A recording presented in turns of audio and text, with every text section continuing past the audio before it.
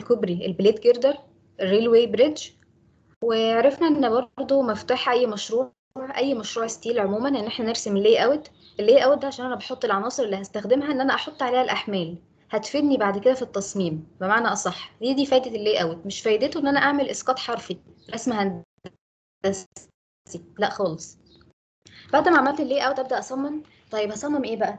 اتفقت معاكم عشان أعرف أصمم لازم أبقى عارف نقل الحمل بتاعي الحمل ماشي إزاي. أنا عرفت خلاص إن الحمل على طول بيبقى إن كل قطر بيبقى ماشي على فلنكات وقضبان القضبان دي بتبقى مرتكزة على اتنين stringer ده معناه إن أول عنصر عنصر بالنسبة لي هبدأ أصممه هي ال stringer لأن هي أول حاجة بيروح لها الحمل. بالنسبة لل stringer في كده رقم يعني indication مش أكتر لأن بيقول إن ال span بتاع ال stringer عموما بيكون من 3 ل 5 متر. ده رقم indication كده ولا كده؟ هو بيبقى given وعرفنا بيبقى given إزاي؟ إن هو في بيجيب لي كوبري ويقول لي ال span بتاع ال bridge مثلا 30 متر. ويقول لي إن ال 30 متر دي متقسمة ل 10 panel. ده معناه إيه يا شباب؟ معناه إن أنا عندي 30 على 10 3 متر. كل 3 متر أنا حاطة cross girder بالمنظر ده كده. يا هم مديني ال span ده كله 30 متر. وقال إن هو مقسمها 10 panel. ال panel بتبقى متحددة باتنين cross girder كده دي اسمها panel المنظر ده. يبقى أنا كل 3 cross girder طيب تمام. طب أنا في الثلاثة متر دول برضو استفدت بيهم إيه؟ استفدت إن أنا عارف إن ال stringer بتكون مرتكزة على ال cross girder ده معناه إن ال span بتاع ال stringer هو نفسه ال spacing between cross girder يبقى من 3 ل 5 متر ده رقم ليك تعرفه لنفسك. ولكن هو بيبقى مديني السبان بتاع السترينجر. السبان بتاع السترينجر هو نفسه ال space between cross girder هنبدأ نتعرف أول حاجة في خطوات التصميم إن أنا ببقى عايزة أعرف ال span. تاني حاجة ال statical system بتاعي. تالت حاجة إن أنا أحط الأحمال بتاعتي. رابع حاجة أطلع straining action. يبقى بالنسبة لل span عرفت خلاص ال span هو ال spacing between cross girder طب ال statical system قال لك عندك حلين. والله يا إما تتعامل مع ال stringer دي إنها simple beam هنا إن أنت عندك إحنا كلنا عارفين إن ال stringer مكملة مكملة بكامل طول البحر بتاع الكوبري. كلنا عارفين كده. بس قال أنت تعتبر إن ال stringer دي simple من هنا لهنا مرتكزة simple مع ال cross دي simple beam تتعامل ده دي حل. الحل التاني إن أنت تتعامل معاها إنها إنها كمرة continuous طب أنا برضو يعني هعملها إزاي دي؟ مش مهندسة. قال لك دي دي بتبان لك stringer تاخد بالك أنت مش مش مهندسة. فاهمة اتفضل. هو صوت حضرتك بيقطع.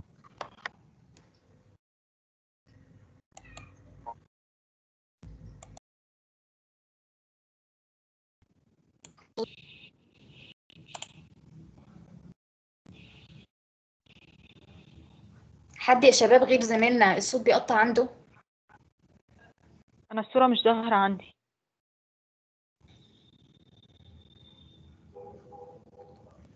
هو أنا عموما لسه دافعة النت أصلا يعني.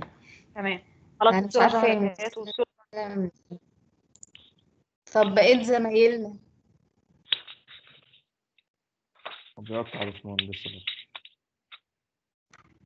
طب بص يعني هندسة خمس دقايق كده ولو الباشمهندس يعني اللي بيقول اللي الصوت بيقطع لو لسه بيقطع وقفني. أنا مش عارفة بصراحة هو هيكون بيقطع ليه. بس يعني ربنا يسهل.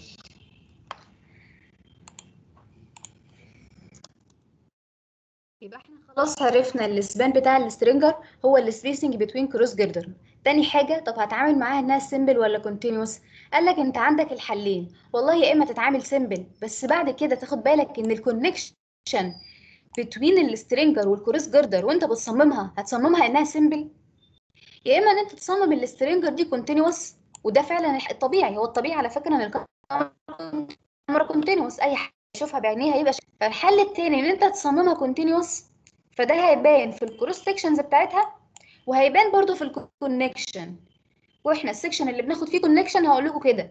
اللي كان مصمم ال stringer بتاعته simple يصمم ال connection في المشروع بتاعه simple واللي كان مصمم ال stringer continuous يصممها في المشروع برضو إنها continuous يبقى دي هتبان لي. حتة ال simple وال continuous دي بتبان لي هنا في ال cross sections بتاعة الكمرة وبتبان لي في ال connection وهنعرف إزاي دلوقتي بنصممها إزاي simple وإزاي continuous هي عموما ممكن حد يقول لي يا باشمهندسة طب إيه الأفضل؟ ممكن حد يقول لي كده.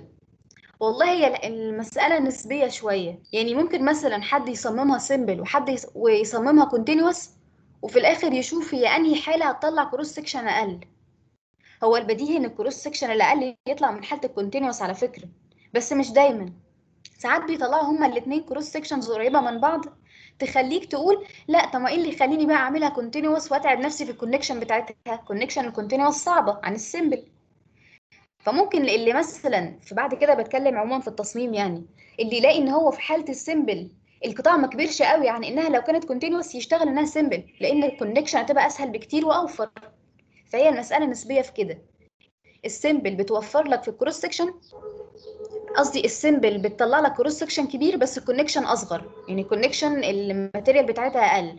لكن ال continuous تطلع لك cross section صغير صغير ومش صغير قوي برضو بالحالة اللي إحنا يعني متخيلينها مش صغير قوي. بس ال connection بتاعتها أصعب وبتاخد material أكتر وبتاخد مجهود أكتر. فهي المسألة نسبية. وفي الحالتين والله بدل أنت بتصمم صح يبقى أنت خلاص تمام كده محدش يقول لك حاجة.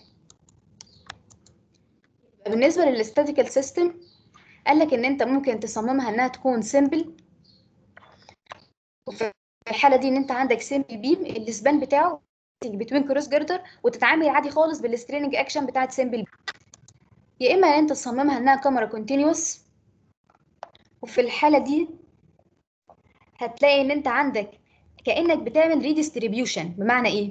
إن أنت بدل ما ال moment كله كان متجمع هنا في المكان ده كده في منتصف البحر هنا أو هنا بدأت تشيل منه تشيل منه وتحمل على السبورتات negative هي دي فكرة ال continuous على فكرة إن أنت بتعمل redistribution لل moment بدل ما كله متركز في ال mid span بتبدأ تشيل منه شوية وتحمل على ال cross section ال negative فوق ال support فبدأ هنا القيم دي يا شباب نحفظها.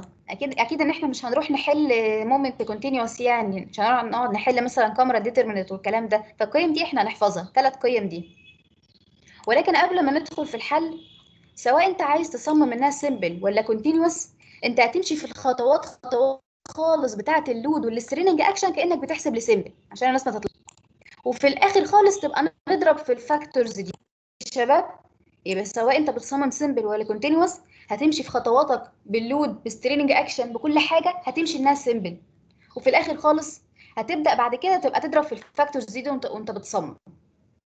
يبقى أنا أصلا مش هفتكر حتة ال continuous دي غير في آخر خطوة خالص في التصميم. لكن ال load وال straining action بتعامل عادي خالص إنها simple للتسهيل يعني. طيب بعد ما عرفت ال span وال statical system بتاع الكمرة بتاعتي عايز أعرف الأحمال اللي عندي. عندي ثلاث أنواع من الأحمال dead load و live load ودول معروفين. بس إيه الاختلاف بقى في ال live load بتاعنا المرة دي؟ عن ال live load اللي كنا بنحطه في سنة ثالثه في التخ... في ال covering في التغطيات المعدنية بتاعتنا في ال truss وال frame إن أنا لما كنت بحط live load في ال truss وال frame كنت بحطه static يعني بقول مثلا إن أنا عندي frame بالمنظر ده بحط هنا live load uniform load مثلا كده 60 في S C يعني أي رقم. وبحط uniform load بس كنت بتعامل static ثابت في المكان ما بيتحركش لكن ال live load المرة دي معانا لأ ال live load المرة دي moving load الحمل ده هيبقى عبارة عن حمل القطر اللي بيتحرك والقطر ده, ده مش ثابت مش static ده حمل moving load على عكس مثلا المنشآت بتاعتنا بغض النظر عن المنشآت المعدنية المباني السكنيه والأبراج. أنت بتحط live load بس بتتعامل معاه إن هو static ما بتتعاملش معاه إن هو moving ال live load ده اللي هو حملي حمل أي حاجة أنت حاططها في الدور كده. ده كده live load فأنت بتتعامل معاه إن هو static ما عمرك ما بتتعامل معاه إنه moving فالاختلاف المرة دي في الكباري إن أنت بتحط live load ولكن هو moving load طيب تالت نوع هو ال impact load أو impact effect أو dynamic effect دي نتيجة تأثير إن ال live load بتاعك مش ثابت مش static ال live load moving فطول ما هو بيتحرك بيعمل تأثير على الكمرة. كأن مثلا العجلة بتتحرك ده مثلا السكة الحديد بتاعتي والعجلة ماشية هنا فالعجلة بتيجي تدور كده وتخبط في في ال rails بتاعتي. وال rails طبعا متثبتة على الفلانكات اللي بتدي لل stringer فحتة ال impact دي نتيجة إن أنت عندك ال live load مش ثابت وبرده العجلات بتاعتك مش مثلا مش دايرة كده بالظبط perfect فهتيجي تتحرك بانسيابية على كامل الخط فمش هتأثر لي على ال rails لا هي ما تبقاش perfect ولا ال rails بتكون perfect ومفيش أي حاجة في الدنيا بتكون perfect للعلم يعني. الناس بعد كده اللي يعني تتعمق شوية في التصميم هتقول هتلاقي إن إحنا أصلا بناخد كده factor معانا في التصميم حاجة اسمها imperfection. imperfection دي لأن أنت ما عندكش أي قطاع معدني في الدنيا بيطلع لك perfect دايما بيبقى فيه deformations صغيرة قوي. ممكن تبقى صغيرة أنت مش شايفها بس هي موجودة وبتأثر معاك. لأن ما فيش أي قطاع في الدنيا perfect فبالتالي لازم تاخد إيه تأثير ال impact معاك. طيب دي كده أنواع الأحمال. ناخدها بقى بال بالتفصيل. بالنسبة لل dead load أنا عارف إن اتنين ال stringer بتوعي بيبقوا شايلين track فوقيهم. تمام كده؟ يبقى كل track شايله اتنين stringer طيب بالنسبة لل stringer بتاعتي أنا لما أجي أصمم هاخد واحدة منهم أصممها. طب بتبقى شايلة إيه بقى في ال dead load؟ قال لك أول حاجة إنها تبقى شايلة نفسها حملها يبقى ال own weight بتاع ال stringer. أنا بديله رقم بفرضه between 100 ل 150 كيلو جرام على المتر الطولي طبعا. ده حمل الكمرة موزع على المتر الطولي uniform طب بتبقى إيه شايلة إيه تاني؟ قال لك بتبقى شايلة بقى ال track بتاعي. طب بتبقى شايلة ال track كله؟ لا أنت شايف أهو إن ال track متحمل على اتنين stringer. يبقى كل stringer من دول شايلة نص track. فأنا برضو بفرض الرقم. 600 يبقى شايلة نص track يبقى 600 على الاثنين طب شايلة إيه تاني؟ قال لك أنت نسيت إن إحنا كنا دايما بنحط stringer bracing فبالتالي ال stringer بتاعتك هتبقى شايلة برضو stringer bracing weight طب ال stringer bracing ده بديله رقم من كام لكام؟ قال لك بديله رقم من 20 ل 25 كيلو جرام على المتر الطولي لما أجي أجمع الثلاث أرقام دول يبقى ال total dead load اللي بتشيله ال stringer الواحدة عبارة عن ولنفرض هتاخد ال 100 زائد ال 300 زائد ال 20 فهيدي لك رقم من 420 ل 475 كيلو جرام على المتر الطولي. إحنا بنفرض رقم من ده يا شباب. ليه بقى؟ لأن أنا ما صممتش stringer. أنا مش عارف هناخدها 100 ولا 150 بس هما من كتر التصميم لقوا إن ال weight بتاع ال stringer عمره ما بيقل عن 100 وما بيزيدش عن 150 فقال لك إن أنت لو خدت رقم في ال range ده أنت دايما هتبقى safe يعني في الطبيعي في إن أنت لما تيجي تفرض حاجة المفروض بعد ما تخلص تصميم ترجع check عليها. ده التصميم الصح إن أنت ترجع check على اللي أنت فرضته. ولكن إحنا أصلا هم من كتر التصميم هم وصلوا للأرقام دي وعرفوا إن أنت مهما حصل معاك عمرك ما بتطلع unsafe بالنسبة لفرض الأحمال. فإحنا دلوقتي في الآخر يبقى وصلت إن ال total dead load اللي شايلاه ال stringer من 420 ل 475 كيلو جرام على المتر الطولي وعرفنا تفصيلها. حد عنده مشكلة يا شباب؟ أو لسه الصوت مقطع عند اللي كان بيسأل؟ لا تمام يا باشمهندس. تمام. يبقى ده كده ال dead load اللي شايلاه ال stringer الواحدة. طب بالنسبة بقى لل live load. لو ده ال track بتاعي اتنين stringer شايلين sleeper أو شايلين قضبان يعني. ال- دي ال stringer بس مكملة لجوه. كأنك بتاخد بس shot كده 3D مش أكتر. الفلانكات أو القضبان بتاعتك دي مكملة برده مرصوصة كده ورا بعض. حمل القطر بيبقى ماشي بيتحرك في المكان ده كده. القطر ماشي في الاتجاه ده. لما دخلنا كود الأحمال قالوا لنا في الكباري بتاعة ال railway إحنا ح... هنديلكوا حمل effective لحمل عربية القطر. يبقى الحمل اللي أنا هوريه لكم دلوقتي بتاع ال live load ده كأنه load effective مكافئ فعلا لعربيه القطر. فوزعوه إزاي؟ effective ده. قال لك أنا هعتبر إن القطر بتاعي ده عبارة عن أربع أحمال concentrated قيمة كل حمل فيهم 25 طن وفي حمل 8 يا شباب حمل عربية القطر الواحدة. حتى أنا حاطاه في النص لأن ده ده بنسميه axle load ده كده axle load في نص العربة قال لك أنا هحط لك حمل effective ده أنا جايباه من كود الأحمال.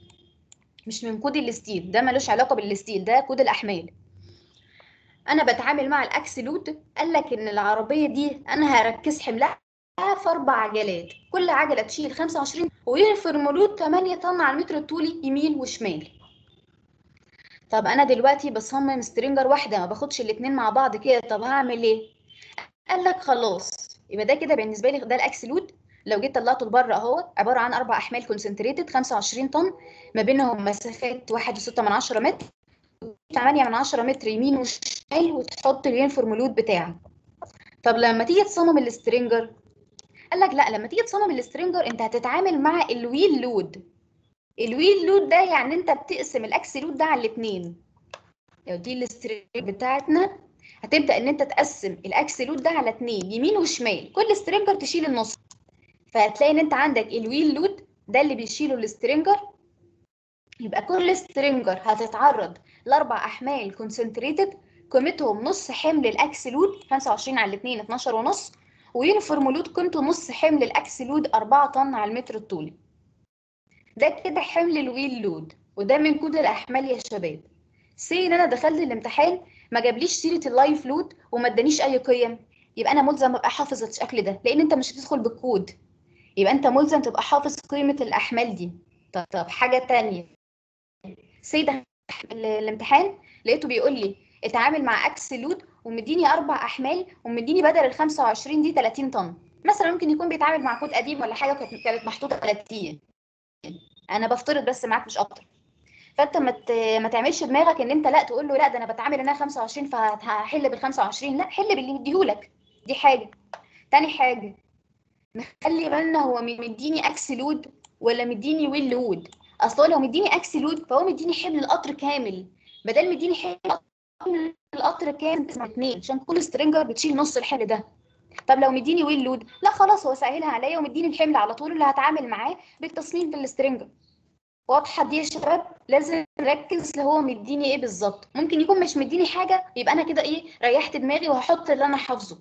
هحط على طول ال wheel load وأتعامل معاه. أنا لما باجي أصمم بصمم بال wheel load هو ده اللي بصمم بيه. ده كده بالنسبة لل live load بتاعي. وزي ما قلت لكم ال live load مش static بمعنى إن الأربع أحمال دول مش ثابتين في المكان ده مثلا. لا دول بيتحركوا. وهنشوف دلوقتي بيتحركوا إزاي. بالنسبة هنا لل stringer شايلة الأربع أحمال دول. دي مش مكانها هنا دايما. لا دي ممكن تبقى جاية هنا. ممكن تبقى مكانها هنا. ممكن يبقى مثلا ال stringer بتاعتي اللي هي ال simple من ال cross girder لل cross girder ممكن تلاقي إن الباكية دي كلها ال stringer في الحاله دي كانت متعرضة ل uniform load بس. إن القطر العجلات دي كانت في الباكية اللي بعدها. يعني فاهميني؟ الحمل بتاعنا moving load قبل كده كل اللي إحنا كنا بنتعامل معاه قبل كده كان بيبقى حمل static هو أه كان live load وكنت بديله قيمة كبيرة شوية عن ال dead load ولكن كان حمل static أنا ما كنتش بحط ال dynamic effect ما كنتش بحط ال moving المرة دي بقى إحنا بنحطه. ده بالنسبة لل live load إحنا بعد بعد ما بنحط كل load على فكرة بنحطه وبعد كده نحسب straining action. فبالنسبة لل dead load كانت سهلة بقى إن أنت بتحط uniform load وتحسب straining action. وهنشوفها في المسألة دلوقتي. طب بالنسبة لل live load انت بتقولي لنا يا هندسة ده مش حمل ثابت. طب أنا هعرف مكانه إزاي لما أحسب ال straining action؟ أنا دلوقتي عندي نوعين من ال straining action. moment و shear. عندي حالة هحسب منها ال moment هحرك الأحمال على أساسها بحيث إن أوصل لل critical maximum moment. وعندي حالة هحرك برضو عليها الأحمال على أساسها بحيث إن أنا أوصل ال critical maximum طيب لو أنا عايزة أحسب moment ودي الأحمال بتاعتي خلاص ده ال wheel load بتاعي. أحسب ال moment إزاي بقى؟ ال maximum moment قال لك لو أنت عندك ال span بتاع ال cross girder أقل من 3.2 من عشرة وللعلم الحاجات دي مش حفظ اللي أنا بقوله ده مش حفظ أنا بجرب. أنا نفسي مش حافظاهم أنا كأني اقراهم معاك الحاجات اللي هقولها دي مش حفظ يا شباب أنت بتجرب بتجرب إزاي بقى؟ بتجيب الأحمال بتاعتك وتجيب ال cross girder ال stringer اسفه بعد ما تجيب ال stringer والله تجرب. مثلا تاخد الحمل ده اللي أنا بشاور عليه ده تحطه في النص وعلى أساسه moment. هيبقى ال moment في النص. بعد النص تروح تتأكد إن المسافة دي تعمل check. check على المسافة دي وتقارنها بواحد وستة من عشرة. يبقى يا شباب أول check عندي أو أول option عندي عشان أوصل لل maximum moment بما إن الحمل ده متحرك وملوش مكان ثابت فأنا هحركه براحتي بال stringer تروح تاخد واحد من اللي في النص دول ال 12 ونص اللي في النص دول تحطهم في النص ال span بعد كده تعمل check على المسافة اليمين والشمال دي. check إن أنت تقارنها بالواحد وستة من عشرة. ممكن إنها تطلع أقل من واحد وستة من عشرة. ده معناه إيه؟ معناه إن أنت المكان ده مش هتعرف تحط فيه أي concentrated load تاني. ما أنا أنا حطيت اللي في النص ده حطيته هنا. ورحت اقارن الرقم ده بالواحد وستة من عشرة متر لقيته أقل من واحد وستة من عشرة. وأنا كنت عايزة أتحرك كده وأحط ال concentrated load ده. ما عرفتش أحطه. يبقى أنا كده خلاص مش هعرف أحط غير واحد. طب تاني check. ممكن تروح check على الرقم ده وتقارنه بالتمانية من عشرة بقى. ممكن برضو تكون لقيته أقل من تمانية من عشرة. يبقى انت بدل ما تتحرك تقول إيه مثلا لا أنا خلاص مش هعرف أحط ده أنا هحط ده المرة دي هو ده اللي هحطه في النص. طب تمام. وتروح تقارن الرقم ب 8 من 10 والله لقيته أقل من 8 من 10 يبقى أنت مش هتعرف تحط ال 4 طن دي. طب لو لقيته أكبر من 8 من 10 لا ده أنا لو لقيته أكبر من 8 من 10 يبقى أنا هبعد ال 8 من 10 بتوعي وأحط load uniform 4 طن. حد ممكن يقول لي يا باشمهندسة بقى هنحطه يمين وشمال؟ هقول لك لا هو انت عندك في الحقيقة عندك حمل concentrated يمين وشمال و uniform؟ انت أي حمل concentrated من دول يمينه كونسنتريتد وشماله uniform أو العكس. ما عندكش خالص حمل concentrated يمينه وشماله uniform فالناس اللي هتعمل حمل كونسنتريتد يمين وشمال uniform كده ده كده غلط. محدش يعمل كده يا شباب. دايما هتلاحظ إن أنت بيظهر عندك ال uniform load ده في مكان واحد ما بتظهرش عندك في المكانين. ركز في الحتة دي. طيب ده كده أول option عندي. إن أنا جبت الكمرة ال simple بتاعتي حطيت حمل من دول في النص هنا قارنت المسافات الباقية من عشرة وشفت هل هينفع أحط غيرها ولا لأ. طب ما عرفتش. أروح تاني أقارن بالتمانية من عشرة. لو عرفت أحط uniform load في ناحية واحدة. ده أول option طب تاني option انت دلوقتي ما عرفتش لما جيت تقارن هنا لقيت دي إحنا طبعا كل option من دول بنحسب له moment يعني أنا هنا كده هحسب moment تاني option بالنسبة لي لما لقيت المسافة دي ما عرفتش تاخد جنبها يمينها وشمالها concentrated load خلاص يبقى جرب حملين بس ما تحطهمش في النص. بمعنى هتقسم ال center line كده بتاع الكمرة وهتحفظ كده رقم معايا اللي هو إيه؟ إن أنت عندك أي حملين من دول. المحصلة ما بينهم حمل المحصلة ما بينهم هنا في النص كده بتبعد على مسافة 8 من 10 بتكلم لو انت عندك حملين بس المحصلة ما بينهم هتبقى في النص تبعد على مسافة 8 من 10 متر. لما جينا نحل ال moment عشان نوصل لل maximum قال لك ركز آه، center line الكمرة بتاعتك في منتصف المسافة. حط center line الكمرة في منتصف المسافة. ما بين المحصلة وما بين حمل. تاني يا شباب. الحاجات دي جاية من حاجة كده كنا بناخدها في ال structure اسمها ال maximum maximum.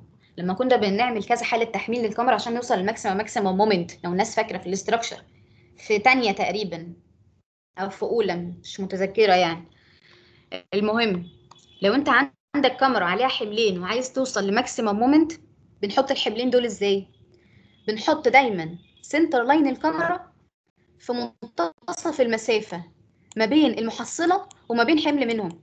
فأنت الرقم ده احفظه. أصل الأرقام دي ثابتة. الواحد وستة من عشرة متر دي ثابتة. فالرقم ده احفظه. يبقى دايما center line الكمرة هتلاقيه موجود في منتصف المسافة ما بين وما بين حمل وبعد كده تروح تحسب ال moment بقى عند الحمل المركز القريب من ال center الحمل المركز اللي هو القريب اللي هو على بعد 4 من 10 متر هو ده اللي هتحسب عنده ال moment. يبقى ده تاني option عندك. إن أنت بعد أول option ما عرفتش تحط غير حمل واحد بعد كده بتجرب حملين وبرده بعد ما بتحط الحملين وعرفنا إزاي بنحطهم بتروح تعمل check على المسافات الباقية دي على فكرة. تروح برده تعمل check تعمل check وتقارنها بواحد وستة من عشرة متر.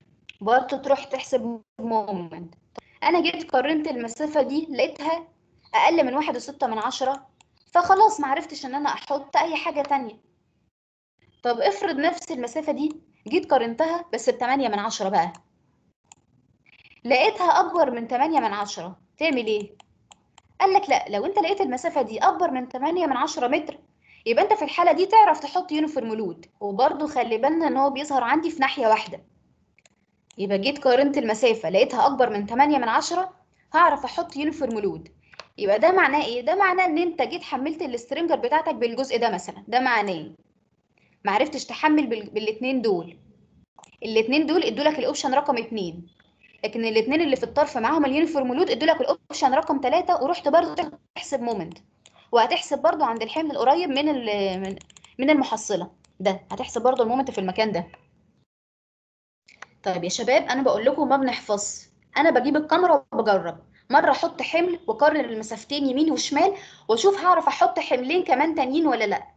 ما عرفتش أجرب حملين. طب لو حطيت حملين أحطهم إزاي؟ بحط center line الكمرة في المسافة ما بين منتصف المسافة ما بين محصلة الحملين دول وما بين حمل منهم. فتلاقي دايما إن أنت بتحط حمل على بعد 4 من 10 وحمل تاني على بعد 1 و2 من 10 واحفظ الرقم ده. بقول لك احفظه. يبقى أنت دايما هتحط الحملين إزاي يا شباب؟ هروح أقسم كده center line الكمرة أحط حمل على بعد 4 من 10 والحمل التاني على بعد 1 و2 من 10 وعرفنا إزاي طلعت إزاي. بس إحنا هنحفظها بقى. دي بقول لكم احفظوها.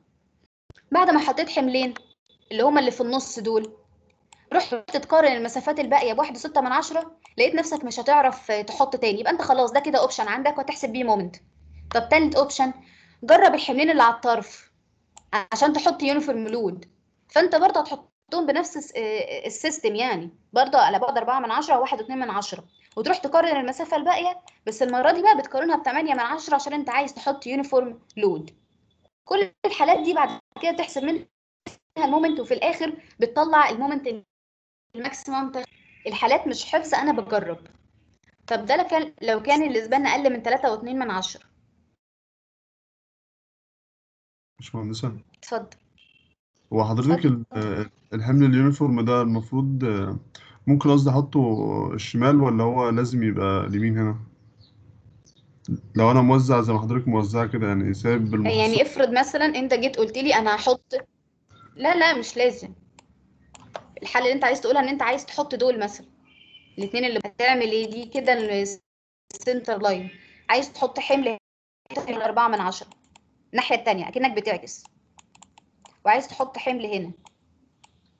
أنت يا أنت يا شباب بت... بتقارنوا المسافة الفاضية. يعني دي كده سموها X واحد ودي سموها X 2 إحنا هنا لما رحنا نقارن مثلا يعني X واحد من 8 من 10 لقيناها أقل من 8 من 10 يبقى أنا مش هعرف أحط حمل uniform طب رحت أقارن X 2 أقارنها ب 8 لقيت نفس لقيتها أكبر من 8 من 10 هعرف أحط حمل uniform طب X واحد دي يا شباب سؤال بقى. لو لقيتها أكبر من 8 من 10 ده معناه إني هعرف أحط حمل uniform بس بس هل ده عندك حملين؟ يمينهم وشمالهم حمل uniform ده مش logic ده مش موجود عندك. يعني ركز كده لو انت بتتعامل مع حملين بس أو حمل واحد أو حتى ثلاثة يبقى لو واحد أو اتنين أو ثلاثة أحمال مركزة ولقيت الكمرة بتاعتك خدتهم والمسافة اللي باقية يمين وشمالك لقيتها هتعرف تحط فيها uniform هتحط في مسافة واحدة بس. لأن أنت ما عندكش حاجة logic إنها ان, أنت عندك ثلاث أحمال دول مثلا يمينهم وشمالهم uniform لأ ده يمينهم بس uniform. أو لو أنت هتتعامل مع الثلاثة دول شمالهم بس uniform وصلت اللي أنا بتكلم عليه؟ آه تمام يا باشمهندس. تمام. وإحنا هنحل دلوقتي يعني المثال الدنيا توضح أكتر. ده بس يعني مجرد إن إحنا إيه بندي شوية indications مش أكتر من نف- نفتح بيها التفكير بس. طب لو كان ال span بتاعي أكبر من 3 و2 من 10 متر فأنا برضو أول option بالنسبة لي زي ما قلت لكم بجيب الكمرة بتاعتي بحط حمل في النص وأعمل check على المسافة الباقية. بعمل check بواحد وستة من عشرة. أنا لقيتها أكبر من واحد وستة من عشرة فقلت الحمد لله يبقى أنا هعرف أحط حمل هنا. ولما جيت قارنت برضو الناحية التانية بما إنها سيمتري فأعرف أحط الحمل ده. يبقى أنا دلوقتي عرفت أحط الثلاث أحمال دول. طب بعد ما حطيتهم تروح برضو تقارن المس- المسافة. فلما جيت قارنت المسافة دي لقيتها لا يا خسارة لقيتها أقل من واحد وستة من عشرة. يبقى أنت مش هتعرف تحط الحمل الرابع. طب روح قارنها ب 8 من عشرة. لقيتها برضو أقل من 8 من عشرة. يبقى أنت مش هتعرف تحط حمل يبقى ده كده أول option بالنسبة لك وتروح تحسب moment بيه هتحسب moment في النص طب تاني option إن أنت تروح تحط تجرب تحط الأربع أحمال. بس إحنا دايما لما بنحط أحمال عددها زوجي برضو زي ما بقول لكم كده ده center line الكمرة بنحطه. خليه هنا كده. center center line الكمرة هنا يا شباب. أنا بحط حمل على بعد 4 من عشرة والحمل التاني هيبقى على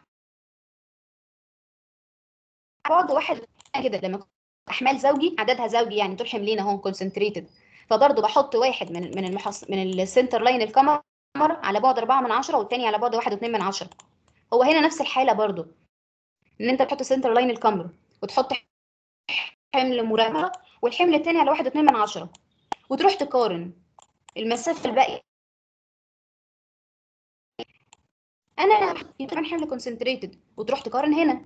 لقيتها أكبر من واحد وستة من عشرة. حط كمان حمل concentrated طب بعد ما عملت كده قارن قارن برضه فما عرفتش أحط. طب افرض لقيتها أكبر من 8 من 10 والله يا شباب مع أنا يعني هقوم أقفل النت النت في ال- كل قاعدين في البيت. استنوني بقى خمس دقايق. تمام. واستنوني دقيقة يعني.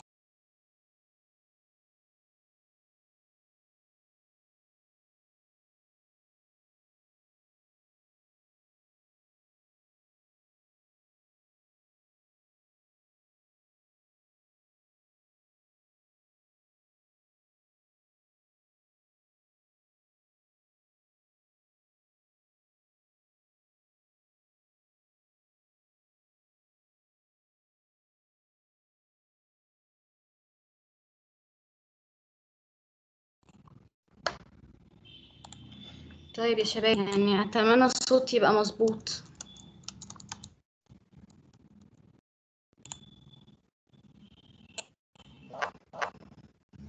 فجيت هنا العدد خلاص زي ما بقول لكم الملحوظة إن إحنا لما نحط عدد زوجي من الأحمال ال concentrated إزاي بنرصها؟ نقسم الكمرة من ال center line ونحط أول حمل على بعد 4 من عشرة ونكمل الرص بقى عادي. إن كل حمل ما بيني وما بين التاني واحد وستة من عشرة. طول ما إحنا بنرص إحنا بنعمل check على المسافة الباقية. بنعمل check مرة بالواحد وستة من عشرة وبنعمل check مرة بتمانية من عشرة. بس زي ما قلت افرض أنا دلوقتي المسافتين دول اللي من جنبين يمين وشمال لقيتهم هما الاثنين أكبر من 8 من 10 ده معناه إني هعرف أحط uniform. ينفع نحطها في الحالتين؟ ينفع بقى. في الحالة دي ينفع. يبقى الحالة الوحيدة اللي ينفع تحط فيها حملين uniform يمين وشمال هي الحالة اللي أنت عندك كل الاحمال لأن الأربعة دول يمينهم وشمالهم 4 طن.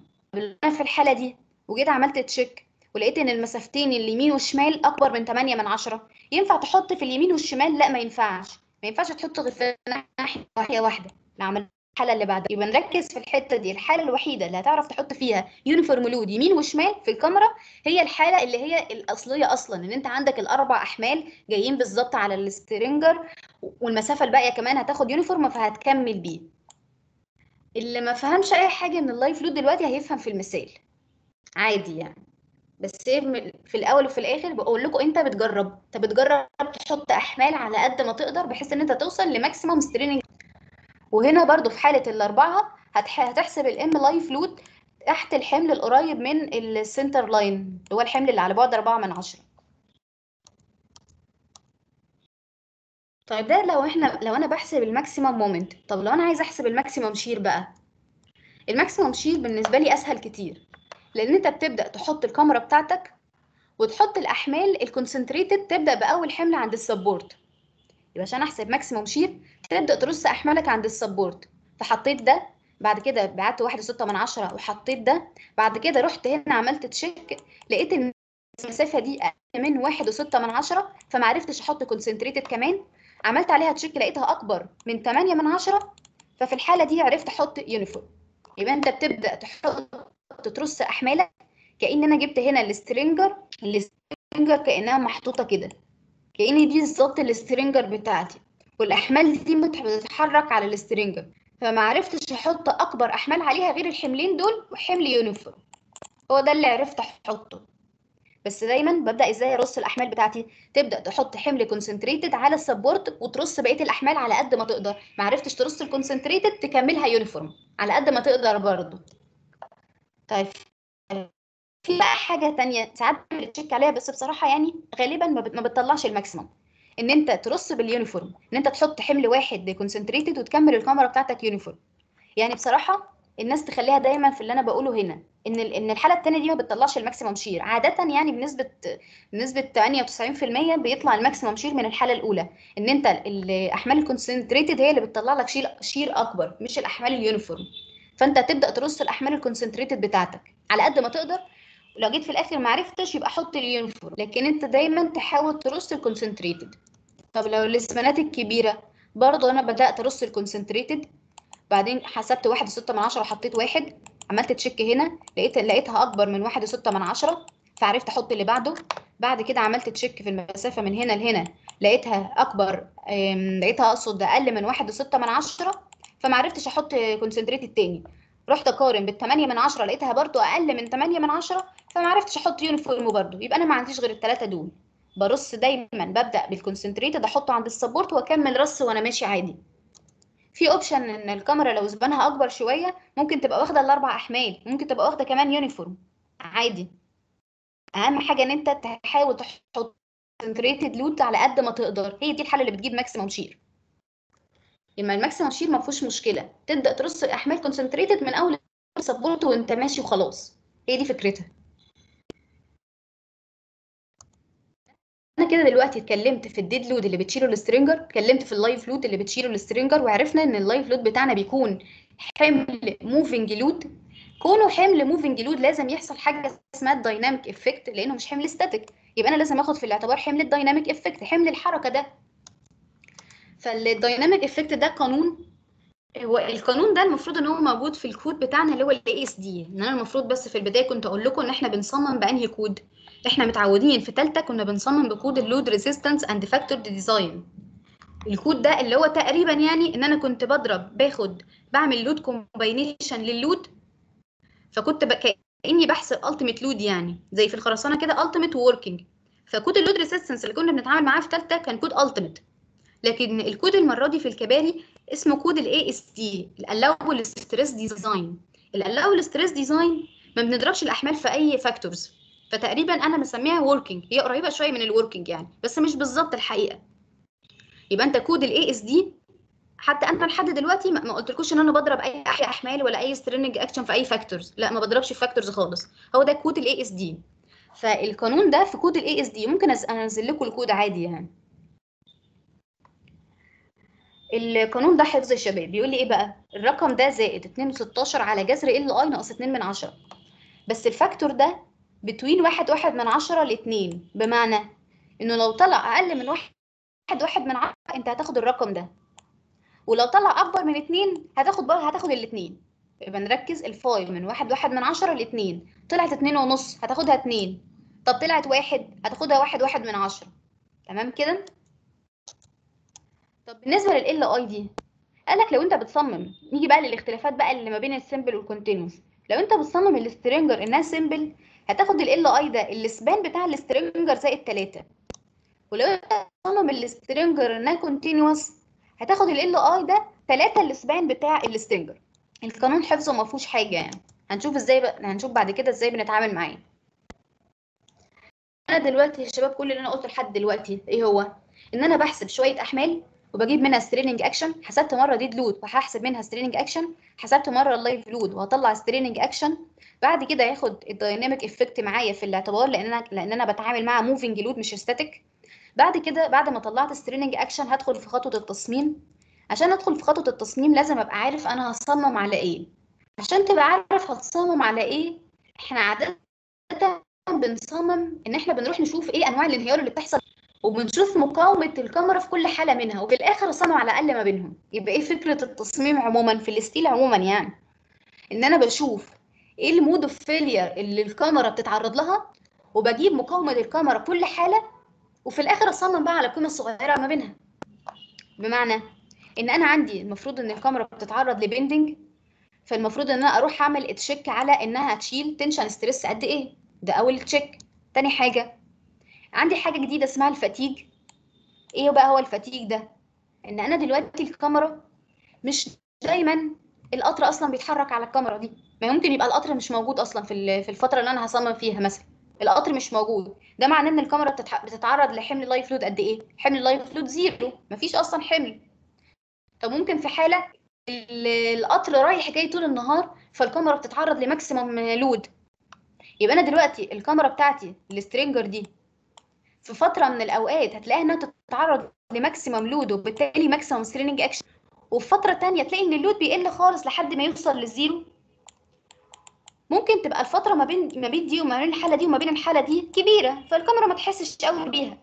طب افرض إنها في يوم اتعرضت لل- لل cycles من التحميل دي كتير قوي ورا بعض. الكمرة الكمرة زي ما بيكون بيحصل لها إيه إجهاد. إن أنت تجيب حتة حديدة مثلا وقاعد تتني فيها ويمين وشمال وتشد وتعمل. ما هي الكمرة بتتعرض لحمل cycles من التحميلة كتيرة قوي. وفي فترات زمنية كمان لما بتكون متقاربة فبتتعرض للإجهاد. هو ده ال fatigue فأنا لازم اعمل check هل الكمرة دي هتقدر إنها تتعرض للأحمال دي؟ أصل أنت خلي بالك إن انت إحنا لما بنعمل check bending stress بنعمل check على إيه؟ بنعمل check إنها تستحمل الإجهاد ده للعلم يعني إنها تستحمل ال maximum straining action ده check ال bending طب وبالنسبة بقى لأنها ممكن تتعرض للع- لل cycles التحميل دي بنعمل لها check إيه بقى؟ هو ده بقى ال check ال fatigue يعني أنا لازم أطمن إن الكمرة بتاعتي دي مش هيحصل لها حاجة.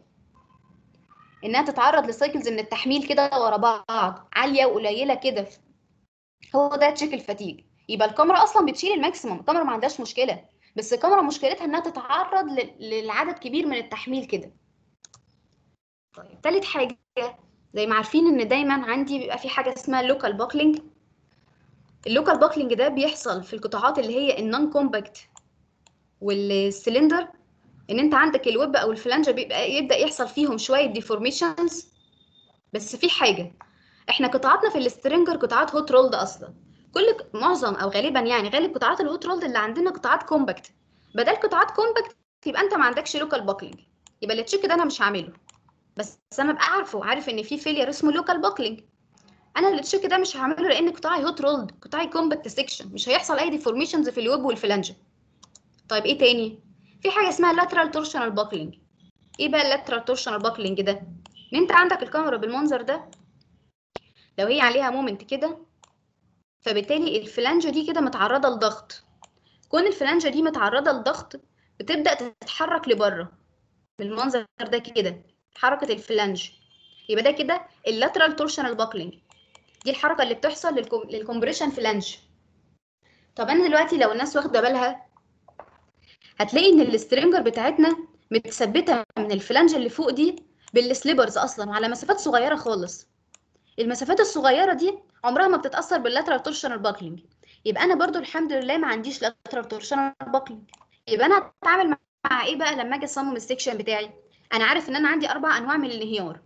بس نتيجة إن القطاع بتاعي compact أنا ما عنديش local buckling ونتيجة إن القطاع بتاعي متثبت من ال compression flange على مسافات قليلة قريبة من بعض قوي ما عنديش برضو lateral torsional buckling أمال عندي إيه بقى؟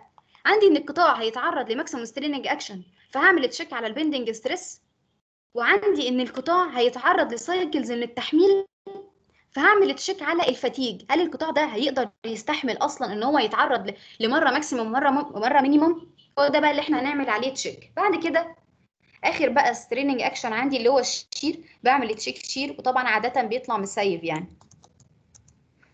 أخيرا بقى نبدأ للمثال بتاعنا. اللي ما فهمش أي حاجة من اللي أنا قلته من أول ال section عادي هيفهم في المثال. المثال بتاعي بيقول لي railway bridge plate girder عادي أنا ما عنديش غيرهم أصلا. مديني deck bridge مديني double track مديني ال span 27 متر divided 9 equal panels دي أعرف منها إيه؟ قلنا الرقم ده كده أو الحسبة دي اللي هي 27 على 9 3 متر دي بتديني ال span بتاع ال stringer. طيب أرجع هنا هو كان بيقول لي deck bridge و double track هم دول أنا هاخد منهم أي استفادة ولا أي حاجة. بصوا يا شباب تصميم ال stringer ما يفرقش معاه هو deck ولا pony وهو single ولا double يبقى تصميم ال stringer يا شباب ما يفرقش معاه غير ال span بتاعه. تمام كده؟ يبقى أنا تصميم ال stringer نركز. أنا ما فيش أي حاجة من من المسألة دي كلها فارقة معايا غير آخر سطر. لكن كونه deck أو pony أو double track أو single track ما تفرقش معايا. مديني ال steel بتاع ال steel 44 ساعات ما بيديش ال steel على فكرة. فإحنا في الكباري بنتعامل مع steel 44 يعني ممكن في الامتحان ما يقولكش أنت steel إيه. بس أنت تبقى إحنا عارفين في الكباري إن إحنا بنتعامل مع steel 44 نبدأ بقى الحل بتاعنا. الحل سهل جدا. إيدك بس تاخد عليه تلاقي الدنيا سهلة. أول حاجة ال span وال statical system. فال span قلنا عرفنا بنجيبه من البحر بتاع الكم... ال- ال- الكوبري. على آه، عدد ال panels بيديني ال span. بحط الكمرة بتاعتي وأحط ال span يبقى ده كده أول خطوة. تاني خطوة أروح أحط ال load بتاعي. بالنسبة هبدأ بال dead load. كل ما أحسب load هحسب له straining action.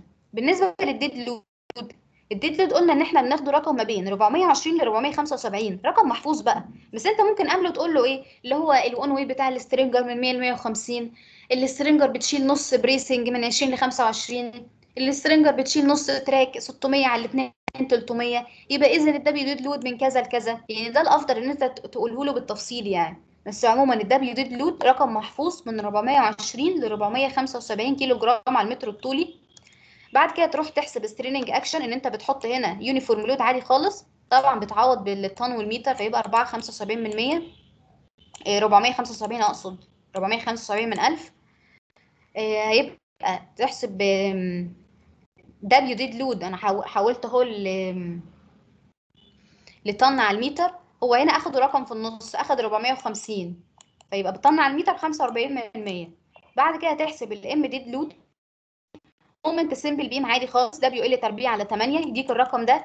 و shear dead load ال W dead load في الإيه؟ على الاثنين يديك الرقم ده. لحد كده ما فيش حد عنده مشكلة أكيد. يبقى أنا حسبت عرفت أجيب ال span وال statical system عرفت أجيب ال load وال dead load وال straining action. حد ممكن يقول لي يا باشمهندسة طب وانت ليه حطيتيها simple ليه ما عملتيهاش continuous قلت لكم خطوة ال load بال straining action كلها بحط الكمرة simple عادي. هتفرق في التصميم بعد كده لما هقول له design as simple ولا design as continuous ماشي يا شباب؟ احسب بقى ال live load ده ال live load بتاعي. هو ما اداهوليش في المسألة بس أنا حافظه. طب اداهولي. خلاص آخد اللي هو مديهولي بقى زي ما قلت لكم في الأول. أحسب ال maximum moment أنا دلوقتي ال span بتاعي 3 متر. فقلت لكم أول option أروح آخد واحدة من اللي في النص دول من اللي جوه أحطها في النص. بعد كده أعمل check بره. المسافة دي واحد ونص متر. لو قارنتها بواحد وستة هل هتعرف تحط uniform load؟ لا مش هتعرف. الكلام ده لو أنا بتعامل مع المم... مع ال load اللي في النص ده. فأنا جيت قارنتها بواحد وستة ما عرفتش. يبقى أنا خلاص مش هعرف أحط غير دي. يبقى كأني حاطة ال stringer فين يا شباب؟ كأنها هنا. شايفين كده ال stringer فين؟ هي دي ال stringer بتاعتي مكانها اللي أنا رسمته ده. يبقى ده كده أول option عندي. وأحسب منه moment يبقى ال moment هنا في النص طلع بالرقم ده. طب تاني option عندك إيه هو؟ ان انت تروح تحط حملين اللي جوه دول الحملين اللي جوه. ده تاني option طب لو رح- رحت حطيت الحملين هتحطهم إزاي؟ قلت لكم أي عدد زوجي من الأحمال بحطهم إزاي؟ إن center line الكمرة أبعد عنه 4 من 10 متر وأحط حمل مركز. والتاني بقى هيبقى على بعد 1 و2 من 10 فلما تيجي تقارن ال- المسافة دي لقيتها هنا واحد واحد من عشرة. هي نفس ال stringer بس انت أخدت الاتنين دول ف say مثلا إنها هتبقى موجودة هنا ده كده مكان ال stringer ده ال option التاني. أنا بسقطها أهو على الرسمة ده كده ال option التاني بتاعي دي ال stringer. هحط عليها الحمل ده والحمل ده. وقلنا إزاي بنرصهم. فلما جيت أقارن الرقم ده لقيته أقل من واحد وستة من عشرة فعرفت إن أنا مش هعرف أحط ده. ولما جيت أقارن المسافة اللي من هنا لهنا لقيتها برضو أقل من واحد وستة من عشرة فمش هعرف أحط ده. يبقى أنا ده كده الحالة اللي أنا مش هعرف أحط فيها غير حملين ومنها برضو هحسب moment طب هحسب moment فين؟ تحسب moment تحت الحمل المركز القريب من ال center line بتاع الكمرة. طب تالت option عندي إيه هو؟ هتقولي لا يا هندسة أنا مش هاخد الحملين اللي في النص دول أنا هاخد الحملين اللي بره. أو خلينا عشان زي ما الرسمة هناخد الحملين اللي على اليمين دول. يبقى تالت option عندي فين بقى ال stringer بتاعتي؟ لا أنت لقيت هنا ال stringer بتاعتك تبقى مكانها هنا. لو جيت سقطت هيبقى ده كده نازل هنا وده نازل هنا. وعرفنا إزاي برضو بنرص إزاي الأحمال. طب بعد كده تروح تقارن المسافة الباقية. ده أنت لقيتها المرة دي بقى أكبر من 8 من 10 آه تقولي لا هندسة خلي بالك ده الكاميرا مكملة. دي المسافة دي أكبر من 8 من 10 فخدت عليها كمان حمل يونيفورم اللي هو ده. طب لو جيت تقارن المسافة دي المفروض لو انت واقف هنا هتقارن بالواحد وستة بقى. فطبعا انت مش هتعرف تحط حمل تاني. ده انت عارفها. انت الكاميرا بتاعتك مش واخدة أصلا غير حملين. خلي بالنا برضو check قبل ما تبدأ. انت ال span بتاعك 3 متر. وانت الحملين ال- الحملين بتوعك اللي ما بينهم هيبقى 3 و2 من عشرة. لو انت حاططهم لو انت عايز تركزهم أقول لك خلاص سيبك من اللي أنا هقوله ده. المهم بعد كده هتبدا تروح تحسب ال M live load تحت ال concentrated load القريب من ال center line بتاع الكاميرا. تحسب ال M إيه حد ممكن يقول لي هندسة دلوقتي؟ أنا كان ممكن اللي هي رقم واحد دي. كان ممكن إن أنا أحط حمل concentrated اللي هو اللي بره ده وأحط كمان حمل uniform صح على فكرة. ممكن حد يقول لي كده إن أنا حطيت الحمل ده هنا في النص أهو. ما أنت كان ممكن تروح تقارن ده لقيته أكبر من 8 من 10 ممكن تحط هنا كمان uniform يبقى ده كده option رابع معانا. شايفين يبقى أنا ظهر كمان معايا option فأنا بجرب على فكرة مش أكتر. بس خلي بالكم إن أنتوا بتتحاسبوا على التجربة دي. لازم تحط عدد ال options على قد ما تقدر. ال moment زي ما خدنا بالنا هنا هتلاقي إن أكبر M أكبر moment طالع لك من حالة الحملين وحالة ال uniform load يبقى ده كده أكبر moment أنا وصلت له. أنا ما عملتش ال option الرابع ده لإني عارفة إن, إن أكيد ال moment من الحملين دول هيبقى أكبر منها. مهما مهما تعمل يعني. يبقى ده كده يا شباب حساب ال moment. حد عنده مشكلة بس؟ أنا ما يهمنيش في section النهارده غير حساب ال moment. بقية الخطوات عادية جدا. اتفضل. هو حضرتك لو أنا مثلا عارف إن في إن الكاميرا ينفع تاخد حملين ممكن ما أعملش بقى حالة الحمل الأول الواحد ده ولا لازم أعمله برضه؟ يعني بصراحة عشان أنا ما أعرفش بي- بيصححوا إزاي بس الأفضل تعمله. الأفضل يعني. تمام. يعني أيوه أنا وأنت عارفين إنها مش هتطلع ال maximum moment. بس هما بيبقوا عايزين يشوفوا ال options يعني. تمام. ماشي.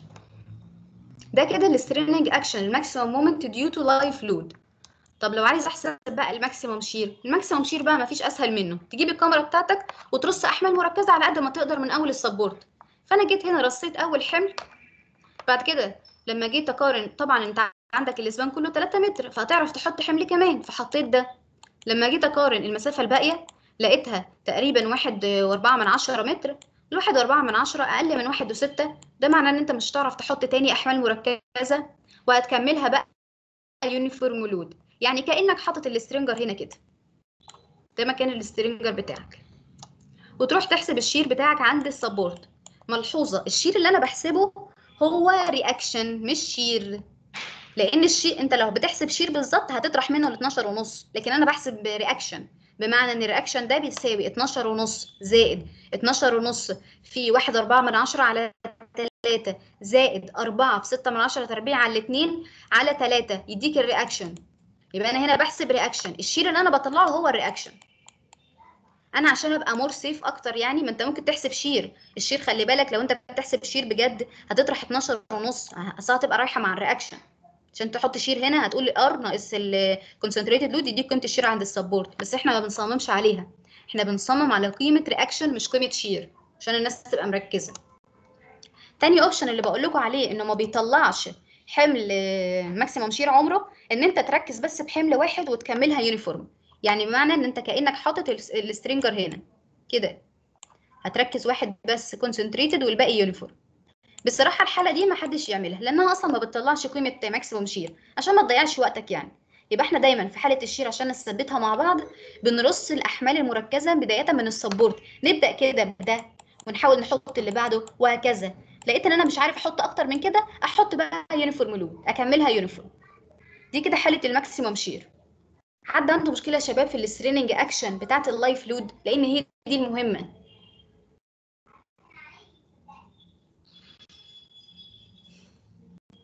ممكن الناس تبقى حاسة بمشكلة دلوقتي بس عشان انت بس ما مسكتش قلم وورقه وجربت. لكن أول ما تجرب هتلاقي الموضوع سهل.